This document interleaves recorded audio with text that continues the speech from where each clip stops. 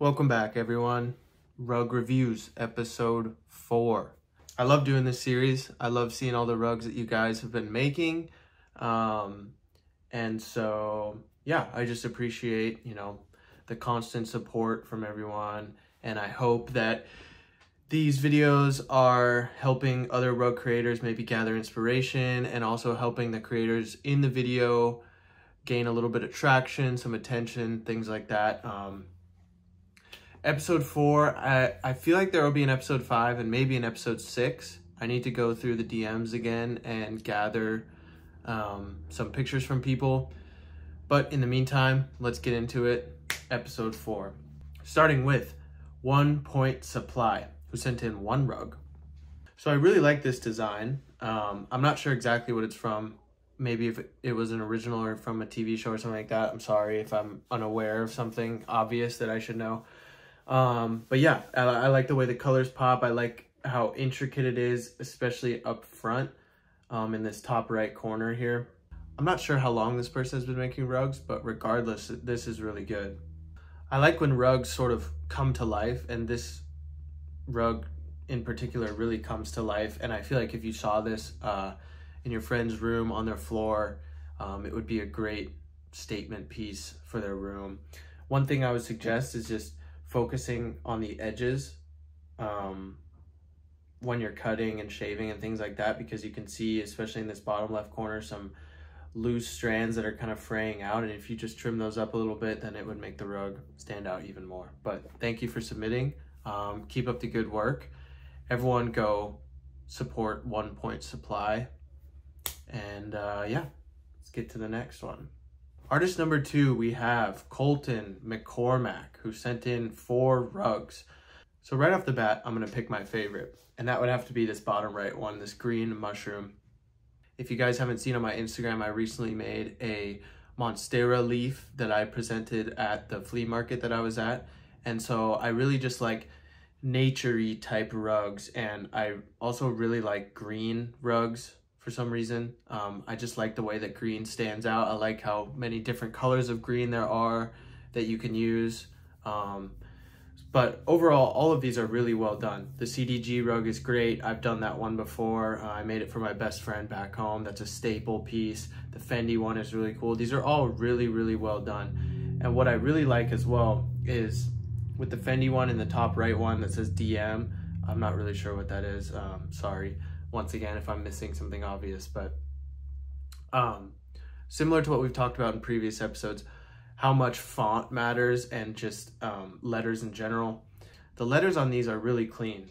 Um, the edges are super nice, and I can tell that you really take your time and make sure that you are being as accurate as possible. So I always appreciate that from artist to artist. Thank you so much for submitting these.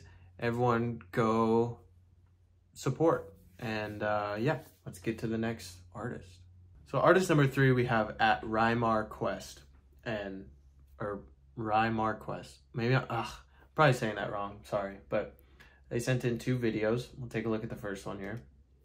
And I'd actually seen this when I was um, putting all these clips together. So this is a really, really interesting rug. I don't know uh, if this is an original design or not, but regardless, I really, really like it. And what you need to appreciate about this particular rug is the amount of time that it takes to do letters, numbers in general. And not only that, but you have like 50 numbers on this rug alone. So I can only imagine how long this took. So kudos to you for doing that. This looks amazing. I really like the design. Um, I like its originality. I'm to assume it's original. And then we have another video here um, the Georgia rug, which again looks really great. And once again, dealing with some pretty tough lettering in here, um, especially cursive. Cursive is is kind of tough. I just dealt with a rug that had a lot of cursive in it. And um, it's tough because when you're dealing with individual letters, you can go one at a time and you can kind of like shape them the way that you want to. But when you're dealing with cursive, it's continuous lines throughout. And so it makes it a little bit more difficult to really fine tune those letters and make them stand out. That being said, if you wanted to sculpt these cursive letters a little bit more, I think that they would help stand out a little bit because they're kind of getting buried in the white surrounding it. Um, but it looks like you did sculpt in other areas, um, which is good. And uh, yeah, this is a really great rug, two really great rugs. And thank you for submitting it. Everyone go support. Artist number four, we have Rare Rugs 01. They said, I've been making rugs for the past few months now. You're big inspiration to me, no cap. Been watching videos on YouTube. Thank you so much. I appreciate that. Uh, it's always nice to hear. Four rugs here.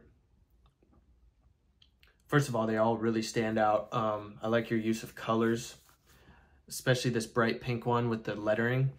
Um, there's something so great about just a rug that is two colors and just a word. I want to make a rug like that. I, I haven't figured out what I want to make, but to put somewhere on my wall or something like that because I think they stand out. Um, and I can tell that you sculpted the letters as well because they pop even more. Like I said in these previous videos, it makes it look 3D. Really well done with that. And same with the one to the left here, uh, bottom left. I can tell that you took your time in, in shaping this and making sure that it stands out and pops. That middle emblem is really popping out of the white. And um, the shoe, obviously, really great. We've seen a lot of shoes. Um, it's a staple piece. Uh, they always look great. And these lighters, I think, are my favorite. Not only because of the use of the colors, I think the yellow and the pink really stand out and they pop, um, but the detail within the flame and things like that. Um, once again, I can tell that you've shaped it really well, makes it pop, makes it stand out. And, you know, as you mentioned, you've only been making them for the past few months that's really good. That's really, really good. These are really, really good for only doing them for a few months. I didn't understand shaping and, and 3D and, and a lot of those things until, you know, almost a year down the road for me making rugs. So really well done. Thank you for submitting these to me and everyone go support. Last but not least, we have Rugs by Em, who sent in one rug here, the MF Doom rug. And I really, really like this rug because of the colors used. I like the white, the way the white looks with like the dark foresty green color. Um, I also like the way that you shot this. I did this at first too, and I want to start doing it again when I first started, is um, getting rid of the background on the rugs in Photoshop or whatever it may be, and presenting them like this on your feed or whatever, your website, stuff like that. That really helps the rugs pop as well. One suggestion that I would make, similar to others, is if you were to shape the letters a little bit more, I think it would bring it out from the white because I think that is such a powerful green color that I think if you were to able to make that pop out a little more and stand out, it would make the rug even better overall. But once again, great work. Thank you for submitting this and uh, everyone go support. So that does it for episode four. Thank you to all five of these artists. They were all amazing. I really appreciate it. Um, once again, still accepting DMs. I anticipate a few more episodes coming. I know they've been drawn out.